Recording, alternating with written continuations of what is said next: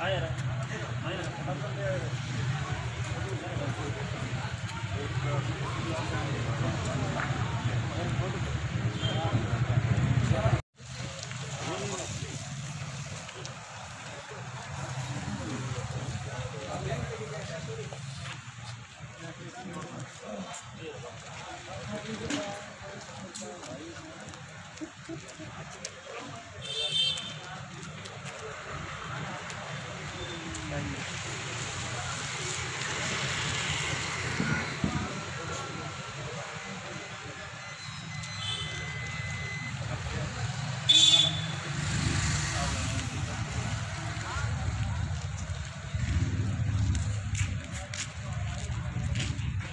चांदाराम वाघेला।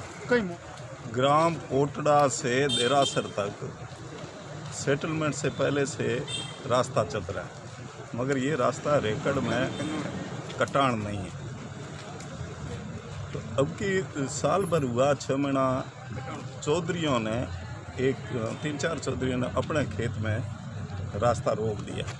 तो दूसरे चौधरियों ने और गाँव वालों ने और पाँच दस गाँवों के लोगों ने जिसमें सब जातियाँ चौधरी भी है, रायका भी है, भील भी है, राजपूत है, इन सबने मीटिंग करके उनको कहा कि भाई रास्ता तो हमको भी, हमारे खेत में भी मत चलो।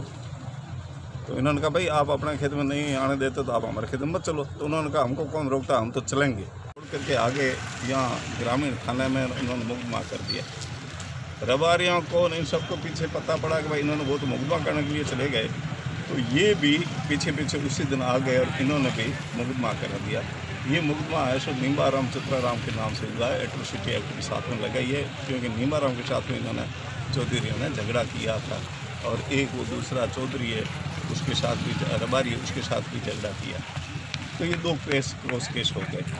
नाम क्या है जो मतलब मारपीट करने वाले जो रास्ता रोकने वाले? मारपीट करने वाले वो नाम तो हनुमान मूड़ाराम हनुमान राम हनुमान राम मूड़ा राम ये है। दूसरा दूसरा भी हनुमान है। तो आज किसको ज्ञापन देना है? तो ये हुआ तो उन्होंने क्या किया कि ये तो हुई बात तीस तारीख की मुकदमे दर्ज हुई एक तारीख को उन्होंने चित्राराम जी के दूसरे लड़के के खिलाफ तीन सौ छिहत्तर का मुकदमा दर्ज करा दिया।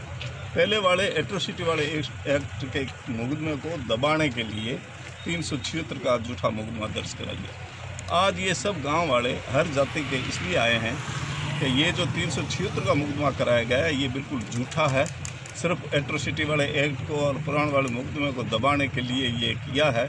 इसलिए इस मुकदमे में सही इंक्वायरी की जाए और इस झूठे मुकदमे में एफ़ दी जाए। जो सिर्फ़ एक कमला राम की। हमने ऐसा ही सुना बाकी लोग फ़ाइल बताते नहीं। पर ऐसा लगा है कि कमला राम सनम चित्रा राम के खिलाफ तीन सौ छिहत्तर का मुकदमा चल रहा है। आज किसको ज्ञापन देना है? आज एसपी साहब को ज्ञापन हमने दिया है। क्या जवाब दिया उन्होंने?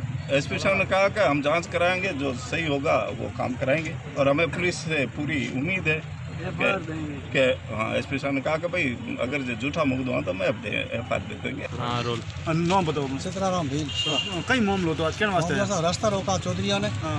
उनके लिए मैंने दो चार गाँवों के लोग इकट्ठे करके उनको बोला कि रास्ता मत रोको हाँ। और वो कहते हम रास्ता रोकेंगे हमारे खेत में आपको चलने नहीं देंगे हम आपके खेत में ऐसे चलते रहेंगे तो हमारा कौन रोकने वाले हैं। इसलिए हमने उनसे उन्होंने हमारे से झगड़ा करके मुकदमा दर्ज कर लिया। हमने भी मुकदमा ग्रामीण थाना दर्ज कर लिया। हम्म। तो आपके ऊपर कैसा मुकदमा दर्ज किया है? मेरे ऊपर बच्चा को दूसरे पहला तो ग्रामीण थाने के अंदर किया था मैंने किया था एस का और उन्होंने किया मुकदमा। और मैंने है जो मारपीट का दूसरे दिन वो उन्होंने जाके एक तारीख का तीन सौ चौहत्तर का मेरे बच्चे दूसरे पे कर दिया। आज वाले कौन है? करने वाले रुमान राम है अमिता राम आज किसको गंगा गंगा और गंगा का उसका नाम है।